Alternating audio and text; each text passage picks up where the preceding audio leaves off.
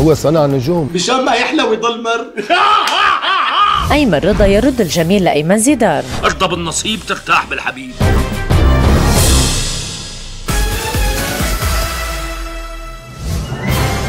إحنا ما رجعناه هو موجود بالدراما السورية بس كنا حابين إنه نستعيده. والحقيقة طبيعة الدور آه، ما في حدا بيحسن يلعبه غير أيمن زيدان. هذه هي الكلمات اللي رد فيها أيمن رضا على الأخبار اللي قالت بأنه كان السبب بعودة أيمن زيدان للدراما من بعد انقطاع عنها لحوالي الخمس سنوات. واحد عنده هيك سعادة ما بيستغني عنها بسهولة. أيمن زيدان أنا يعني آه، إلي عليه مونة آه، مو مونة يعني بمونة مونة يعني بقصد المونة بس نحن كنا نشتغل كل الأعمال اللي كان ينسبق لنا يعني.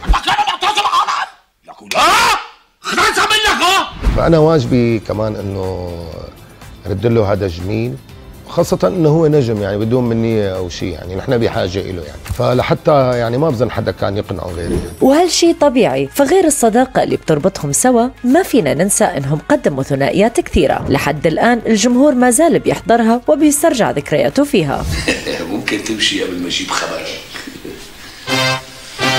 هذا غير نجومية أيمن زيدان الكبيرة فهو عمل بصمة خاصة من خلال مسيرة فنية طويلة قدم فيها أكثر من 200 عمل ما بين مسرح سينما ودراما. تحية للشام.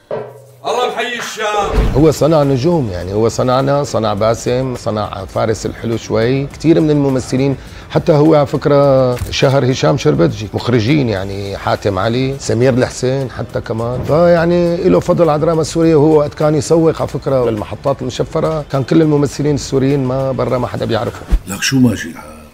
والله لا خليكي تموتي على دباديبه ويبدو أنه أيمن حابب يرجع قوة الدراما السورية بنجومها ويفتح صفحة جديدة مع الجميع. هلا أنا مثلا ما عندي خلاف على حدا مع حدا يعني لأنه مو منفخة يعني بس أنا ما ما بتقاطع مع حدا يعني.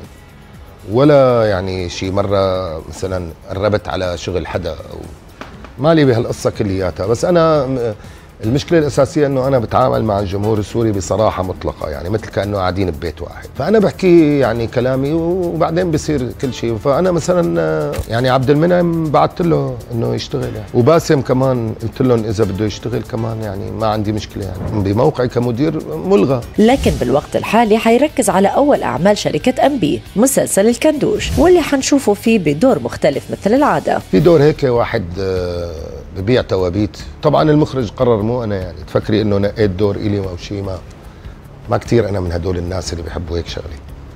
دور شوي صعب يعني إن شاء الله بنظبطه. ويبدو أنه رهان أيمن على اختلاف هالعمل ما بيتوقف على القصة وإنما أيضا على اختياره للمخرج سمير حسين اللي هالمسلسل هو أول تجاربه الإخراجية في عمل بيئة شامية. أنا بعتمد على إبداعاته الفنية ما بعتمد على بيئته اللي شو بيشتغل. يعني مثلا نحن اشتغلنا مع شوقي الماجري تونسي النص هو اللي بيحدد هذا الموضوع وخطواته و...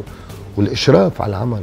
يعني آه، أنت بتعرفي إنه أنا مغرق بالشامية يعني. صحيح ما بشتغل كثير شامي بس بس أنا وحتى يعني المخرج عايش بالشامي. وهالعمل حيكون على جزئين هالخطوة اللي بتعتبر جريئة مع انطلاقة الشركة. هلا هو مكتوب جزئين وما بينفصل نحن عم نحاول ننفصله ونعمل له يعني قطع وكماله